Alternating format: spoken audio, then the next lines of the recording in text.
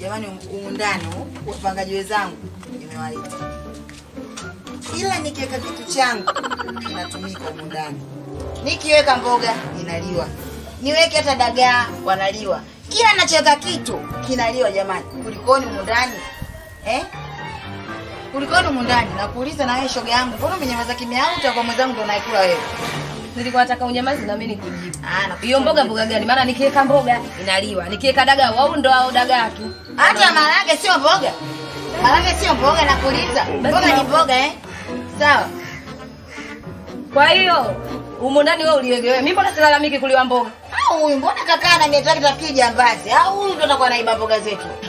Hata mwenye namuhisi maana katulia Ndio kimya maana kama katulia kimya, tunalalamika hapa, tafikiri anatoka kama mizukule. Huyu poje? Wasikilizeni sawa, uzandu tu mahali pake. Mimi leo nimekuja hapa nina marosto yangu, mazingira ya mboga sio nini, nimesile ingekuwa ganja mmefunika kidampani, ningechukua nikicheza kama pele moja mimi nitakuwa kule mbele. Ushanisoma mazingira ya mboga, mimi sijui sijui. Sawa, kwa ndio hivyo, sijakula chochote. Sasa mimi sikiza, nikwambie, kataeni hivyo hivyo. Mnanijua mimi mtoto wa Morogoro, wewe hata sawa? kama utokee wapi. Chochote kitakachotokea msishangae. Oneka umekuwa. Imezoea. Mambo yote Atakuwa ganja itakuwa mimi ganja vipi? Kala, huyo atakuwa kala. Sasa kinacho kwa ganja hapo sawa. Mbona una- unabwata sana? Mbona unabwata sana? Wasikilizeni basi, wasikilizeni. Bora bwana sana nakuuliza? Wewe. Wewe hata kuchunga basi mwanangu, vipi shida?